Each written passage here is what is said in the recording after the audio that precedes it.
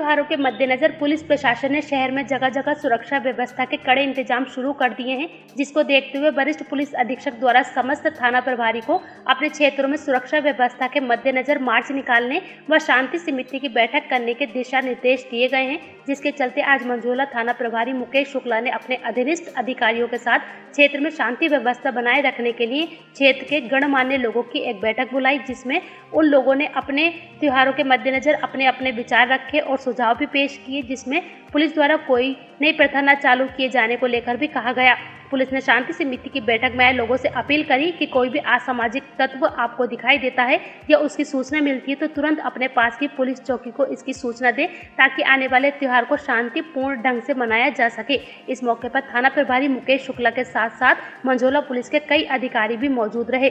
बैठक में नेम सिंह बहेलिया, विवेक गंगवार, चेयरमैन छत्रपाल सिंह, पूर्व पार्षद हसन सलमानी, राहुल कुमार, लक्की कुमार हाजी इशरत, मधुबाला कश्यप, आरती शर्मा, अर्जुन शर्मा, प्रियांशु जोशी एडवोकेट तुलाराम सैनी, निर्मल सिंह सागर, जितेंद्र जाटव के साथ अन्य लोग मौजूद रहे। ये आगामी होली का त्यौहार देखते हुए चुनावों को दृष्टिगत ये बैठक बुलाई गई थी संभ्रांत लोगों में, जिससे वार्ता की गई, इनकी समस्याओं को जाना गया और उन समस्याओं को नोट किया गया। आपस में एक मुलाकात, जिससे हम जनता का सहयोग ले सकें। सभी लोगों से मुलाकात, उनकी समस्याओं को जानने का एक प्रयास था जिससे हमारे आगामी चुनाव व त्यौहार शांतिपूर्ण ढंग से निबट सके और सभी लोगों में क्रम व्यवहार बन सके और जिससे पुलिस पर जनता का विश्वास में बढ़ोतरी हो सके। क्या प्रस्ताव आपने रखे थे केवल यही प्रस्ताव आ कि जहाँ कहीं समस्या है चुनावों में या कहीं होलियों में चुनाव आए तो वो मुझे नोट कराई गई है लोगों द्वारा और उनका निराकरण करने का प्रयास किया जाएगा। कई लोगों ने बताया कि होली पे